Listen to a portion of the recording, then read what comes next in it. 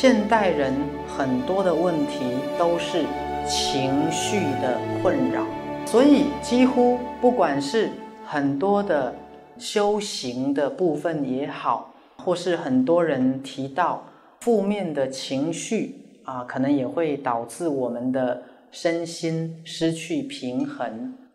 一个人如何在情绪的层面做调节？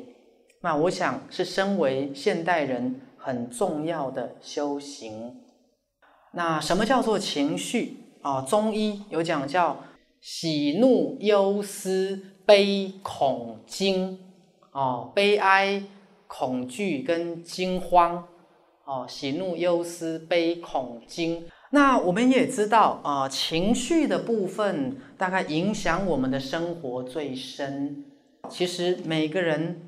在日常生活当中，都会遭遇到很多的情绪。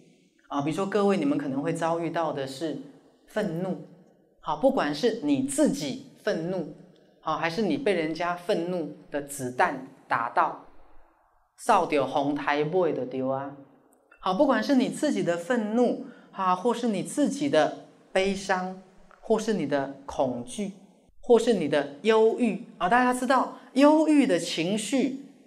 太多沉溺在忧郁的情绪太久，我们就叫做忧郁症。那恐慌，恐慌的情绪太多，对身体的一个病痛的恐慌，又会变成恐慌症。还有我们讲的烦躁、焦虑不安，又会变成所谓的焦虑症。那还有很多其他并没有到达忧郁，它可能只是叫做沮丧，叫啊 dysthymia，沮丧，或是有时候你只是淡淡的悲哀或悲伤。其实人有各式各样的情绪，那说老实话，很多人也都深受情绪的困扰。哦，所以很多的修行其实是在修情绪，啊，修让一个人啊可以心安，可以心平气和，或是可以不要恐惧。很多的疾病啊，其实都是跟我们的情绪有关。那各式各类的疾病啊，比如说啊，医学上常提到的更年期症候群，也会伴随莫名其妙的。慌，心慌意乱，有时候会冒冷汗，啊会焦虑，啊会失眠。那每个人在人生的道路上，都会遭遇到各式各样的情绪啊，比如说你的小孩子不听话，会生气，会沮丧，会无奈啊。比如说，如果你的婚姻出问题了，好，你抓到你的另外一半外遇了。各位，你会伤心，啊，甚至你会很难过，也许想要自杀，或是如果你做生意失败，投资失败，啊，或是跟人家跟会对回啊，汇钱被倒了，或被骗钱了，啊，像我之前有一个个案，他就讲，他不知道怎么样在路上遇到一个人，啊，那个人就跟他说什么话，后来也不知道怎么回事，就跟那个人到邮局去。一下子就骗被骗了二十几万，骗了之后很难过，很伤心。像我有另外一个个案，好是在市场卖菜的，好那之前啊也是可能贪图一点点利息啊，把两三百万借给一个朋友，好结果到现在只拿回五十万，然后也是得到了忧郁症。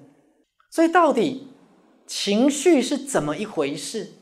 所有的情绪会影响到我们，好，影响我们很深，好，至少影响到我们的脸色。所以有时候我们看到一个人的脸色，好，面色带晒，一看到那个脸就知道，好，不知道人家欠他多少钱。好，一个人的脸色到底是正面开朗，还是我们看到这个脸要做七孔，要做几孔，对吧？来又几顾为，好，七孔变成一孔，好，整个脸皱在一起。人为什么会有情绪？而情绪对我们的意义是什么？各位仔细听哦。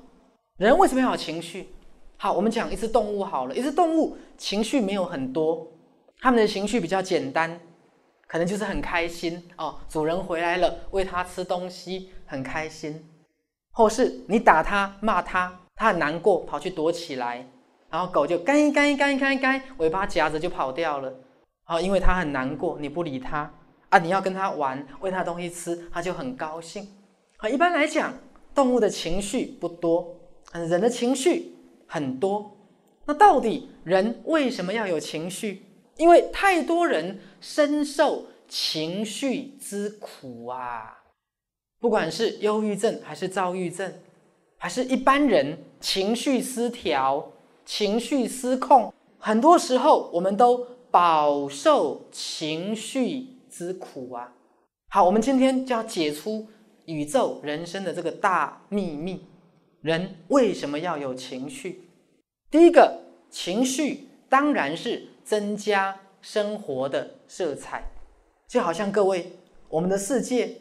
不是只有黑白两种颜色，有没有？有红橙黄绿蓝靛紫，还有很多很多的颜色。好，如果这个世界只有黑白两色，好，那就简单单纯多了。就像人有情绪一样，情绪可以为我们的生活加分加料。我常讲，情绪就好像是生活的调味料。所以，情绪也给了各位为自己的生活调味的乐趣。我们可以这样讲：你的情绪的一种状态，其实是作为你修行的一种参考，甚至是作为你修行的功课。你的情绪就是你修行的功课。一般来讲，我们把情绪分为正面。跟负面的情绪，大多数的人都喜欢开心的情绪。好，你喜欢喜悦的情绪、乐观的情绪、欢笑的情绪。好，你喜欢所有的正面的、提升的情绪。当这种情绪来的时候，好，你会很高兴、很喜悦。可是人也被给了一种能力。那个能力是各位人不喜欢负面的情绪。一般而言，你不喜欢自己一直生气。有时候你跟别人吵完架了，发完脾气的，难过的是谁？自己，因为你不喜欢自己每天是个爱生气的人，爱生气的爱气鬼。你不喜欢？你喜欢沮丧的情绪吗？每次当你很沮丧、很难过的时候。你很享受沮丧的情绪吗？不喜欢。你喜欢很忧郁、很焦虑、每天紧张的要命的情绪吗？你喜欢紧张吗？不喜欢。一般来讲，各位，你也不喜欢担心的情绪、恐慌的情绪、喜怒、忧思、悲恐惊。你不喜欢悲伤的情绪，不喜欢恐慌、害怕的情绪。好，这些情绪是你不喜欢的，可是就像盐巴一样，盐巴本身没有罪，放太咸，这盘菜就要丢掉了。情绪本身也没有罪，人被创造出不喜欢负面的情绪，可是我们人生在世，请问你会不会遭遇到别人的不好的情绪？啊，你会不会遭遇到你自己？不好的情绪会，那为什么你会遭遇到不好的情绪啊？你遭遇到不好的情绪，它的目的是什么？好，各位，重点来了，宇宙让不好的情绪存在，也让我们在日常生活当中会遭遇到不好的情绪。因为当你不喜欢不好的情绪，你会去问我为什么一直有这些情绪。如果我不喜欢一直处在愤怒、忧郁、沮丧、焦虑的情绪，那我就会去找这些情绪从哪里来。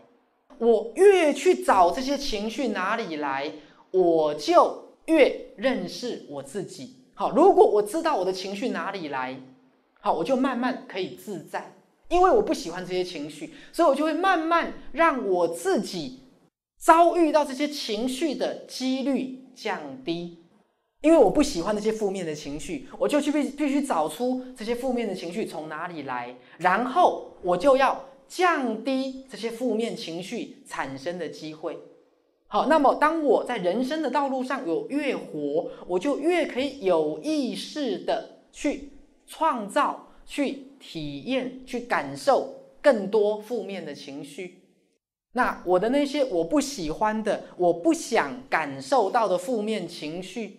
我就可以透过我的这个过程，让这些情绪逐渐的降低、减少。好，所以因为我不喜欢，比如说我这样讲好了，各位，你一屁股坐下来，结果屁股一阵刺痛，请问你的动作是什么？你会找哪里痛？啊，痛从哪里来？如果下面有一颗图钉。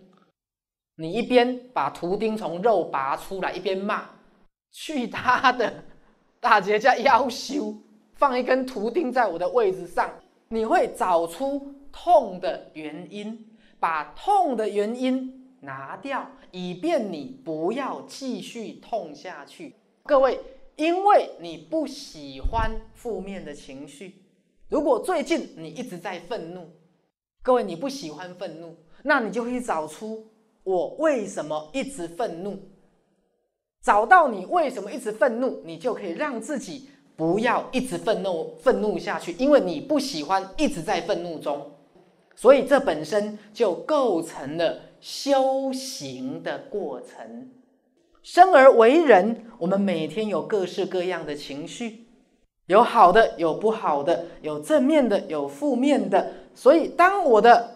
负面情绪很多的时候，我就要去找它怎么来，找出它怎么来，我就可以减少我自己体验负面情绪的频率、跟强度、跟时间，我就会越活越快乐。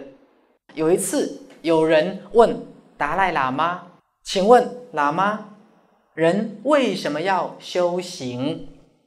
很多人就会以为说啊，修行是为了解脱生死，修行是为了造福众生。有些人修行啊，可能是为了积功德或是怎么样啊。结果达赖喇嘛回答那个记者：“人为什么要修行？我想最后是为了快乐吧。”好，各位，如果我说修行的目的，最后。是让你的正面情绪越来越多。你修行的目的是让你这一辈子大部分的时间是活在一种开朗、活泼、喜悦、光明、自在、乐观